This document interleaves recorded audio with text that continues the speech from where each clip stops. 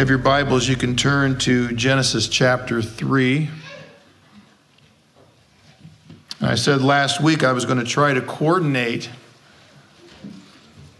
the teaching through John with the time of year we find ourselves in, approaching Easter or Resurrection Day. And I looked at my calendar and I thought, wow, that's only two sermons away, and we have four weeks. So I also recognize that I was a little, uh, little heavy last week, maybe, a lot of information. And so I just decided, I thought, let's, let's camp here on the idea, the rhetorical question that Pilate asked before the one who said he was the way and the truth and the life. Truth incarnate, Pilate says, What is truth? So today we're going to look more at how this idea of truth that is captured and uh, held captive much of our world today, how it has effects on, on the world. There's a, you know, with the, with the internet, there's so many different blogs, and people can kind of put themselves forward as being, oh, I'm a teacher in such and such capacity. There's one, her name is Jory Micah. Have you ever heard of this? Yeah, yeah, yeah. Actually, she has an MA in Christian doctrine and church history. She is more educated than I am.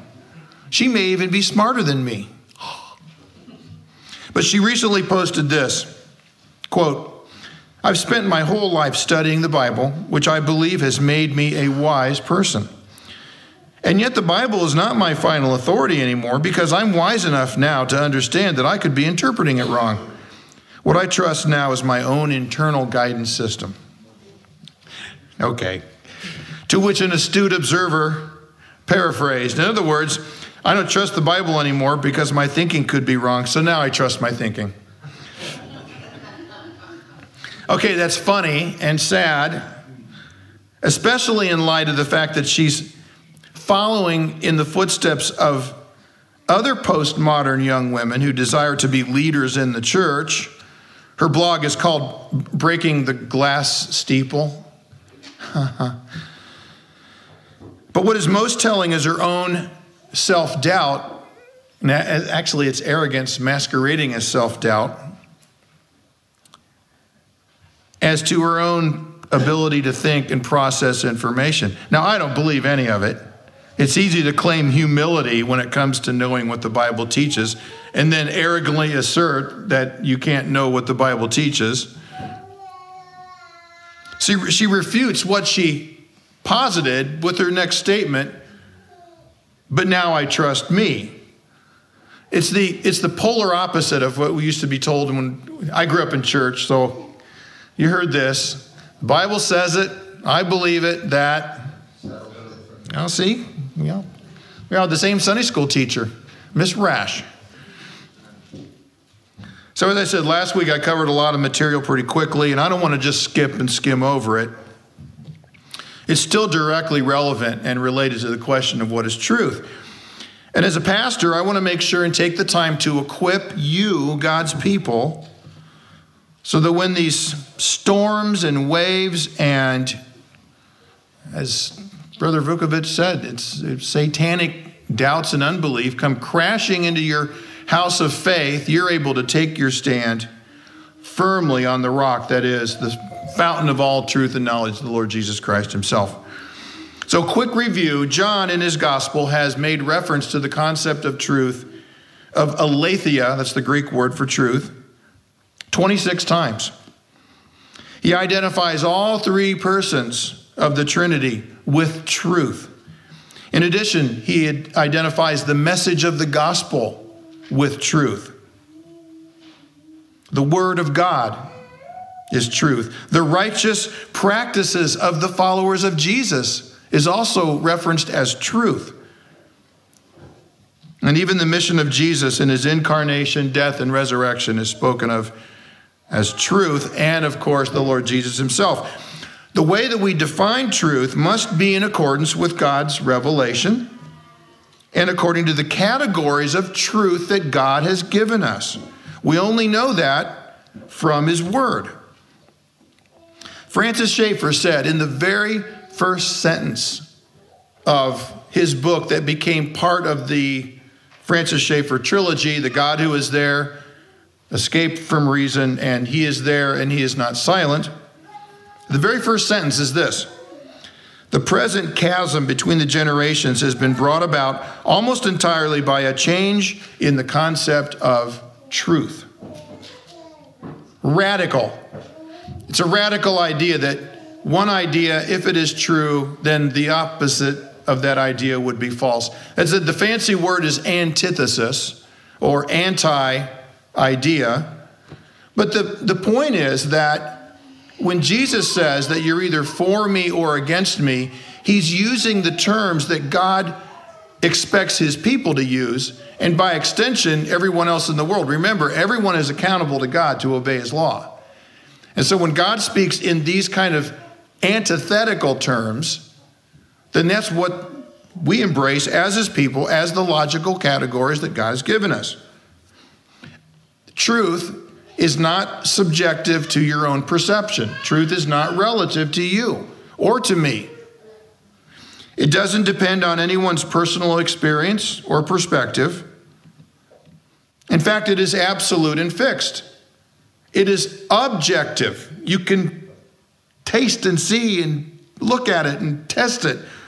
And it can be taught and understood and explained and verified and communicated.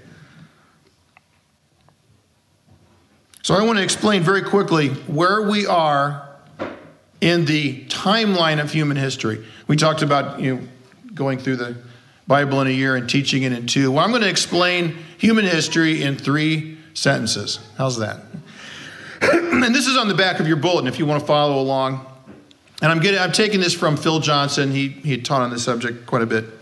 and then we'll dive into Genesis 3. Where we are as a, as a society in Western civilization, there are basically three eras of human history that we can look to and understand how we understand the nature of truth. First, we have the pre modern period. That would be the vast majority of, of human history, from the very beginning up until about the Enlightenment period in the 1700s. All of humanity, with just few exceptions, believe that truth is absolute and it's fixed and it's not just for you, it's for everyone. And it is governed in large part by supernatural forces. That was a big component to the pre modern world. That includes Christianity. We believe that the, govern, the world is governed by supernatural forces, right? But the Word of God, He sustains and breathes life. He created it. It's His, His world, His categories, His law. But the pagans also believed that the world was governed by supernatural forces. They could be animistic, you know, the tree demons and the street demons or whatever. It could be some kind of Greek ideal, the, the, the demonic one or whatever. But they still looked outside of what we could see and touch and taste and feel as being the mover of the universe. The Greeks would call it, you know, well, fate has decreed. Well, what's fate? Well, fate is really nothing but pure blind will. But that's how people thought up until a certain time period. Then we come to the modern era. I, I, always think of the old Terry Gilliam film, The Adventures of Baron Munchausen, where his idea of modernity was all gears and clocks and everything's working, kind of like the deistic God. He, he wound up the universe and now everything works according to plan. Truth is still absolute, by the way. Truth is still objective in this universe. But there's no connection whatsoever to anything that we would call supernatural. The Enlightenment brought us rationalism, which was that we can know what we know just by what we come up with in our own minds as it comports generally with reality, or empirical science. We'll do experiments and we'll, we'll see, we'll observe. What, we, what, can, what can we observe that is real and that's truth? Now, universal absolutes divorced from God gave us the 20th century. When I say the 20th century, what's the first thing you think of? Anyone? Hitler. Not a nice guy. What about Stalin and Pol Pot and all of these tyrants that within a hundred year period killed more people by war and by their own governments than all of human history combined? So you can have absolute objective standards, but if they're not rooted in God, it beats itself to death and creates, yes, death, destruction, ugliness. Not a good thing. Right. So someone would look at that situation and say, well, we don't want that, but I don't really like God. So they came up with these other categories that we call postmodern, which means after the modern period. The dominant idea there in secular minds today is that even if truth exists somewhere, we can't know it for sure. We can't know what truth is. Nobody can know what truth is for sure. And our entire society is beginning to embrace this idea that ultimate reality doesn't really exist anymore. It doesn't matter much, even if it did, because you couldn't know it. It's still down to preference and then ultimately raw power. Now, how does a Christian consider that kind of view of truth and then the claims made by God in His Word? Can they go together? Well, no. It, it's antithetical, it's, it's the opposite.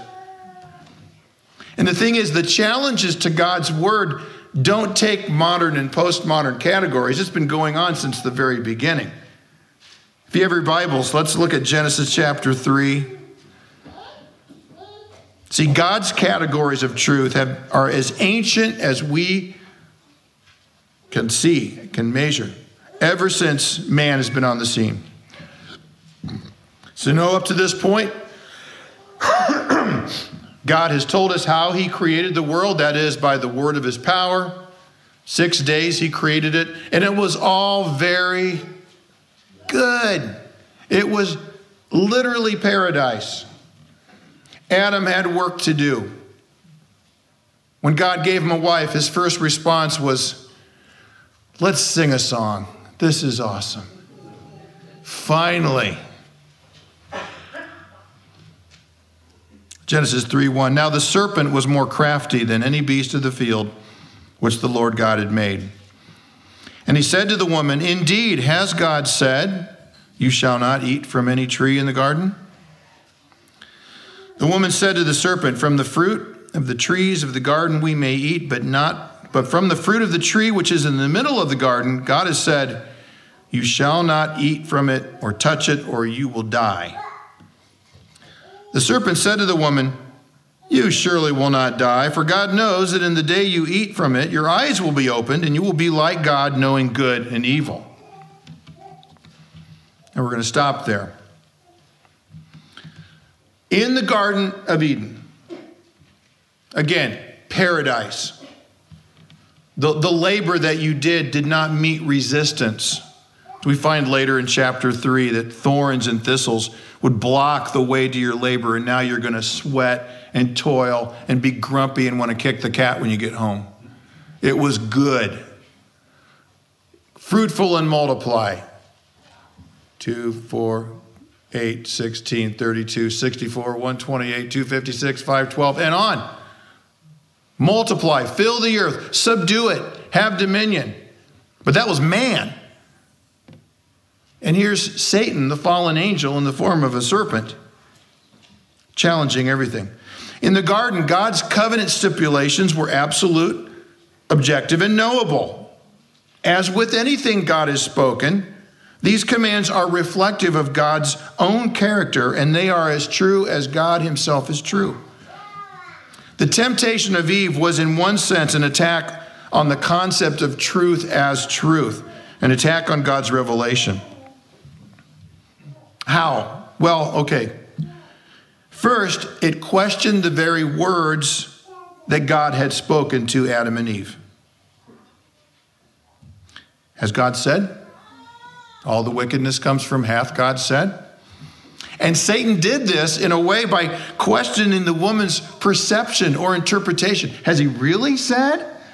Is that what he really said? Are you sure?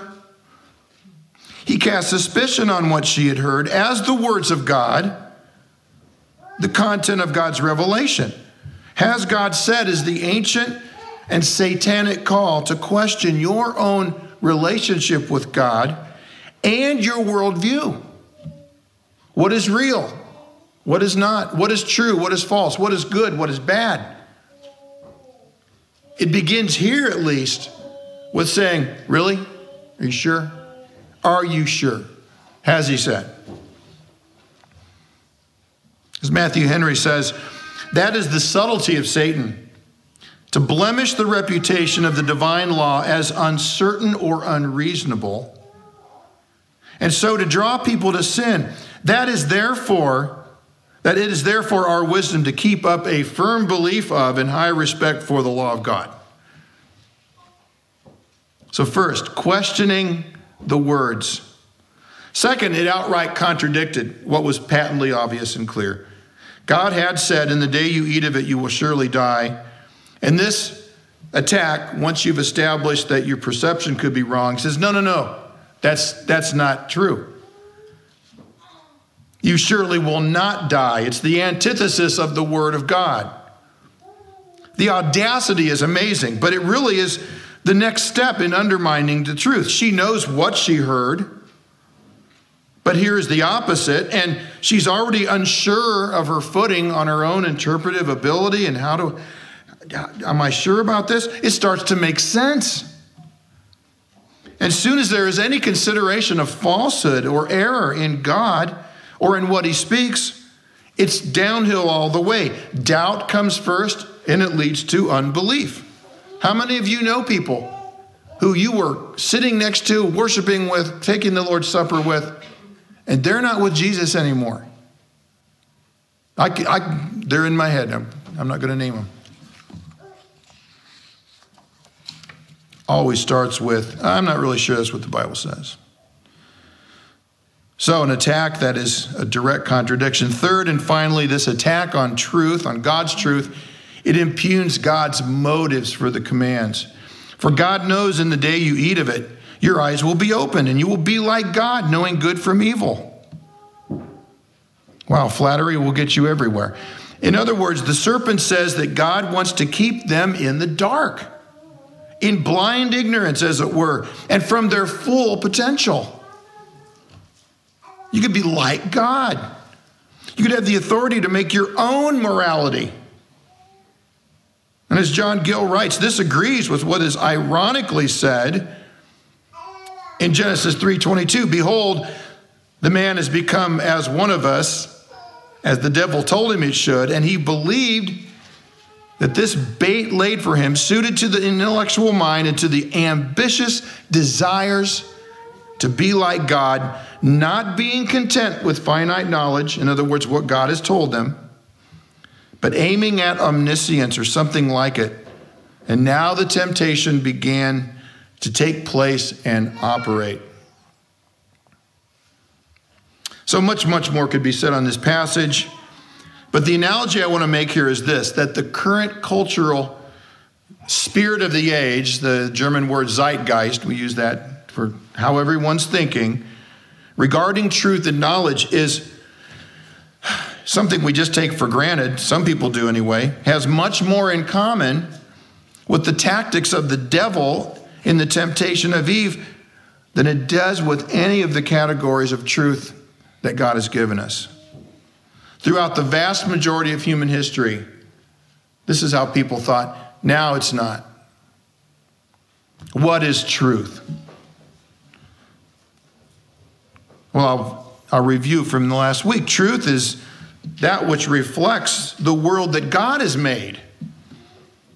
It is that which is beautiful unity and in agreement with the knowledge of God Himself and is in harmony with God's revelation and His Word. And right from the very beginning of the entrance of sin and death in the world, this concept of truth was questioned, it was lied about, and held in scorn as something that will keep humanity from reaching our potential.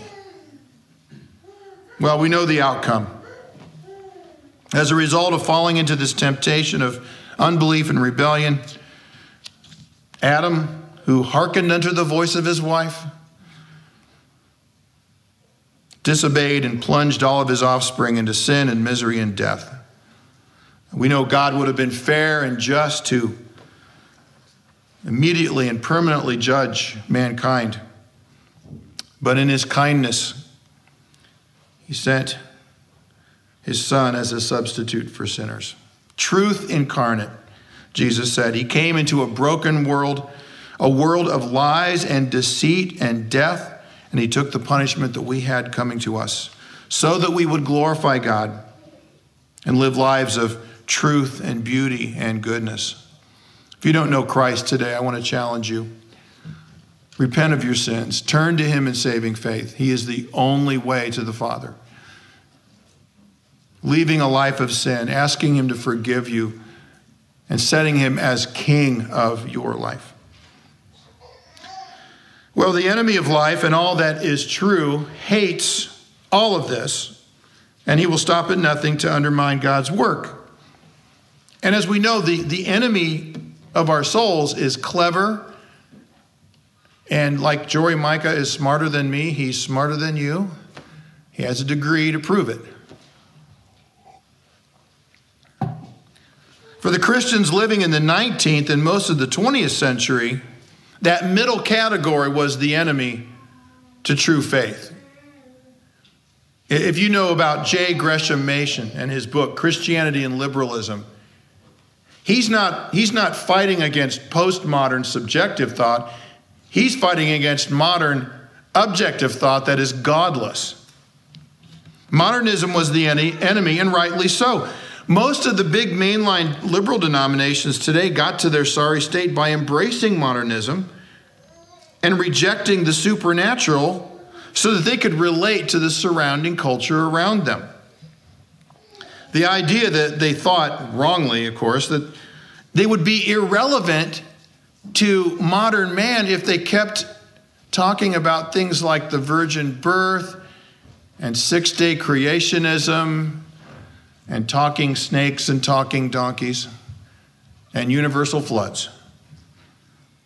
And of course, science had refuted all that. Well, we know science has spoken, right? But no longer. That's not the case anymore. We're not fighting anti supernaturalism, we're fighting concepts of truth that say you can't know anything for sure. Science is now thrown by the wayside.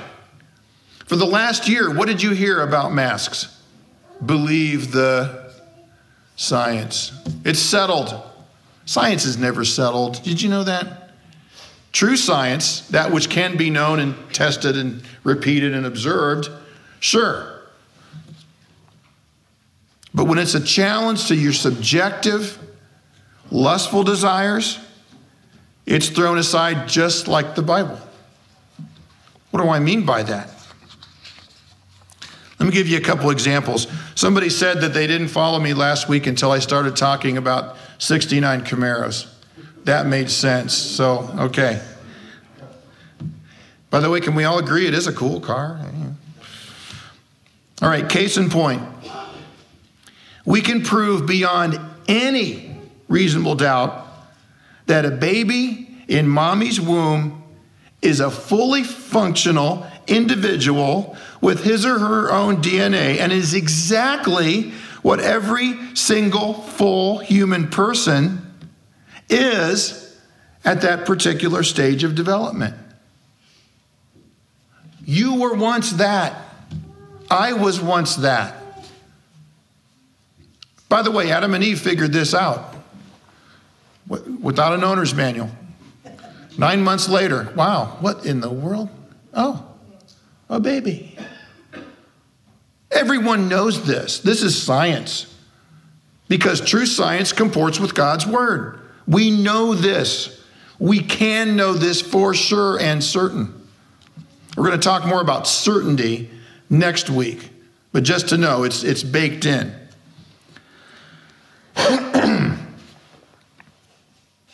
science. It's objective and measurable and repeatable. But no, because of sin and subjective personal application of truth, that baby is only as valuable as the individual mother decides the baby is valuable. It's all subjective.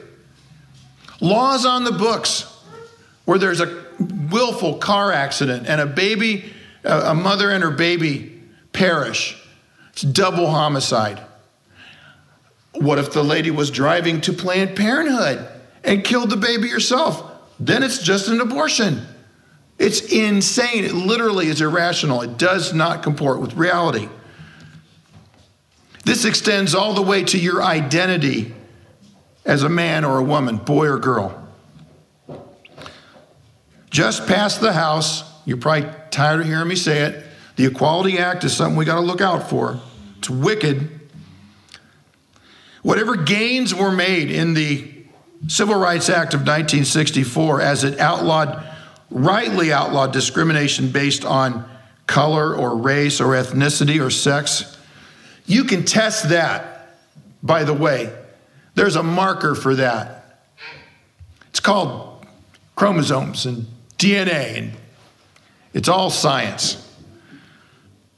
You can, you can use DNA to test for your ethnicity and your background. You test my DNA, and I'm going to be from Central Europe, and, you know, as, as we say, we're, America took the, the dregs of European society and turned them into Americans. Well, yay. And you can use chromosomes X, XX, you're a woman, XY, you're a man. That's science, that's objective, repeatable, observable.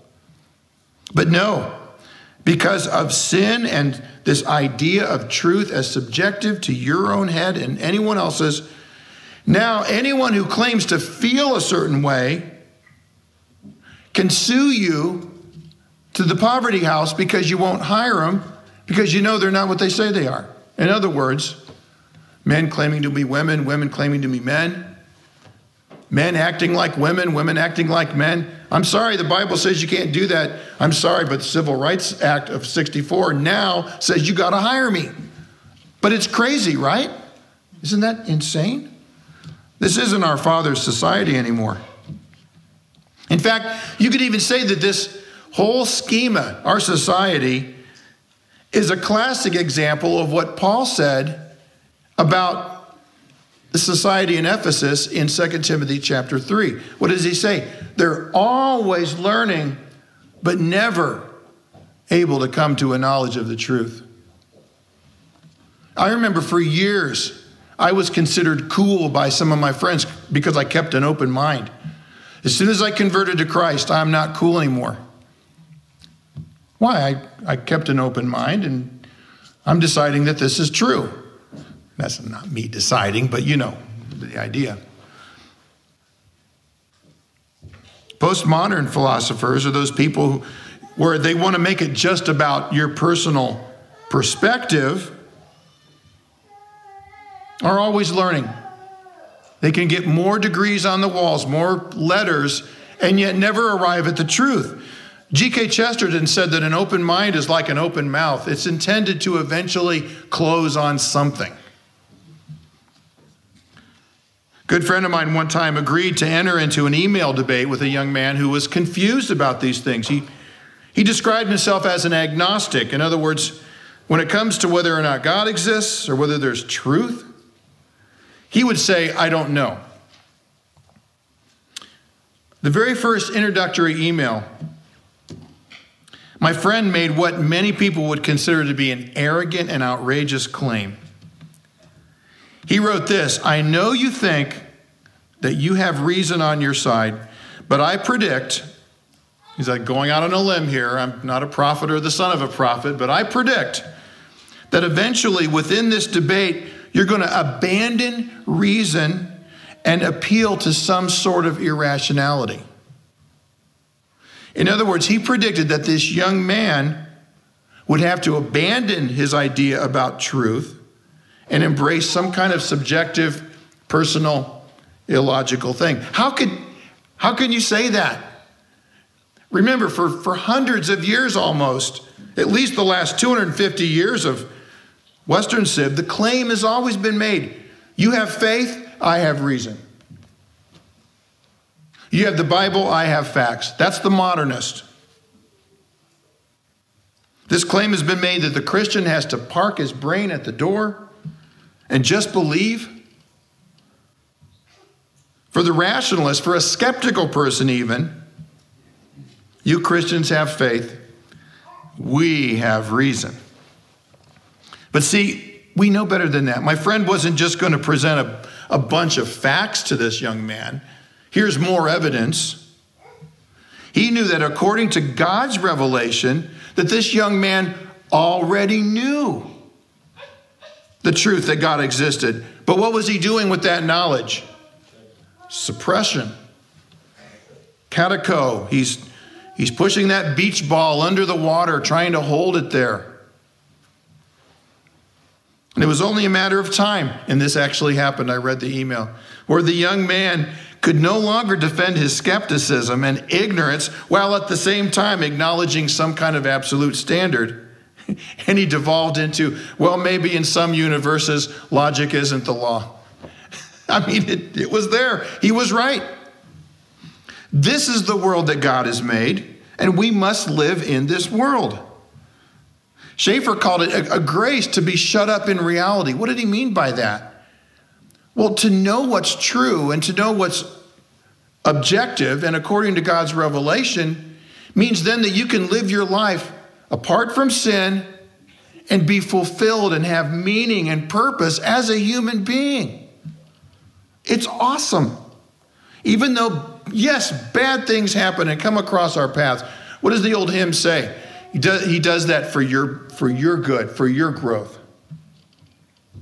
We can't make our own reality. Can you imagine a four year old's version of reality becoming real? Well, we've got just a few minutes left. And as, as in the lie that the serpent told to Eve, we can't make our own right and wrong. Listen, if you do a word search on any Bible software for the word truth, you will be blown away by how often it comes up. This is central, key. Psalm 31 5 says, You've ransomed me, O God, O Lord God of truth. Isaiah 65 16. Because he who is blessed in the earth will be blessed by the God of truth. I want to bring us down to a current situation that I know many of us are aware of. I brought some objects with me today. I have never done this, but I just, I just want the visitors to know this is not normal. Um, I was going to wear skinny jeans and quote movies all day, but I better start. I'm going to start with objects, right? I'm, I'm kidding. All right. Anybody re- recognize this book? A Shattered Visage. Who's it by? Ravi Zacharias. Right. It's a wonderful book. I, I learned a lot from it. Oh, wait, there's more. Ooh, even, even bigger. Deliver us from evil. Ravi, Ravi Zacharias. Look at that. We've got the DVD here. It says Tim and Heidi Bushong on it. It's mine. Got the book with the famous Edvard Munch painting on the front. Got the study guide. Deliver us from evil. What has just happened to a man who spent his career teaching on the nature of truth?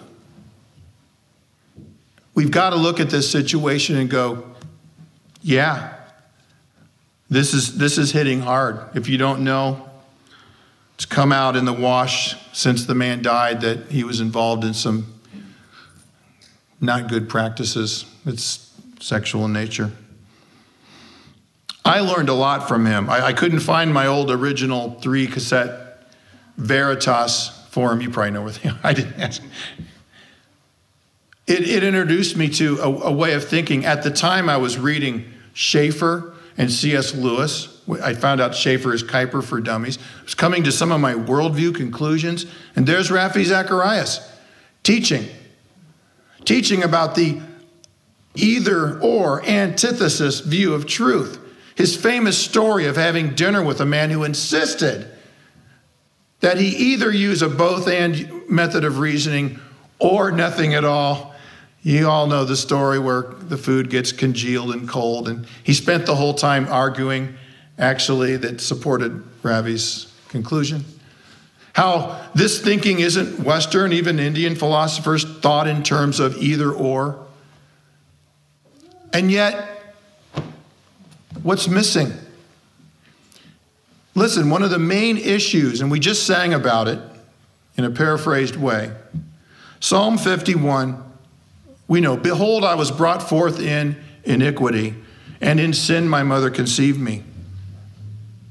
And you can teach analytically about truth all day long. But if truth doesn't get down deep into your very soul, then what, what, what good is it? The very next verse, Psalm 51 6. Behold, you desire truth in my inmost parts, or my innermost being. And in the hidden part, you will, you will make known wisdom. As, as much as I benefited from Ravi, it breaks my heart that he was willing to not let truth rule in his inmost being. But the next verse, purify me with hyssop and I will be clean. That's speaking of the old covenant sacrifice. Wash me and I'll be whiter than snow. I mean, yeah, we can we can look at the situation and you know, when you've got a ministry with not just seven figure budget, but eight, and you have access to lots of money and you spend months away from home and you're not in your local fellowship. It's, it's the danger of Christian apologetics ministries. You're not in the local church. You're not, you're not hearing God's truth week in, week out being applied. And I admired the man for the way he would approach people that were antagonistic, that hated God. And instead of me with my claymore, you know, Braveheart, he was more subtle with the rapier. And he'd have them eviscerated, and they said, Well, I, I don't feel anything yet, and he's a nice guy. And then their whole position fall apart. I appreciate that. I appreciate that he was kind and winsome and yet never compromised on what the Bible taught, and yet in his own life. Somehow there was a disconnect. I can't, I can't explain it, I don't know. But I'll leave us with this today. The world can think crazy, cray cray. Our government can legislate literally insane, irrational, does not add up laws. They can do it all day long, and, and frankly, we may have to pay the penalty for standing against such craziness. But the only reason we know it's crazy is because we're Christians. We know this. We can stand upon the Word of God. But even as we do that, we must make sure, my friends, my brothers and sisters, we can't remain in the realm of just standing firm and being analytically true if we don't have truth in our inmost parts. This means that we take what God says and we, we don't attempt to muzzle anything in the Word. That we let the Word wash over us. As an old friend of mine said, when I, when I read the Bible, it's, it's, I'm the one being read. It's reading me to the very core. That's what Hebrews 4:12 is about living and active, sharper than any two-edged sword. It penetrates the dividing. What is it? What's the point there?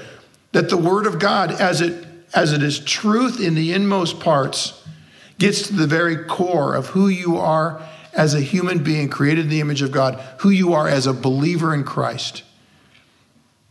And just as a living and active sword does, as the surgeon's scalpel, it skillfully by the Spirit of God, cuts away that part of you that must be done away with or you die. And it leaves the healthy, living, vibrant you. Truth is absolute and objective and fixed and knowable and communicatable. communicable, all of those things. But we must have truth in our hearts and live according to that truth and be changed by that truth. Amen. All right, let's pray. Lord, we are indeed grateful to you for your truth. We're so thankful that you didn't leave us in a sea of skepticism and subjectivism. Again, as Paul wrote, you, you were so merciful to not leave us darkened in our understanding and in the futility of our thinking and enslaved by passions. Now, Lord, help us as your people to indeed not only know your truth, to study your truth and be thankful for your truth, but that we would internalize your truth and live your truth. So that the works we do would be seen by even your enemies and they would still give praise to our Father in heaven. Help us, Lord. Give us strength and courage in these days to stand for truth and to be changed by your truth. And we ask all this for your glory. In the name of Christ, amen.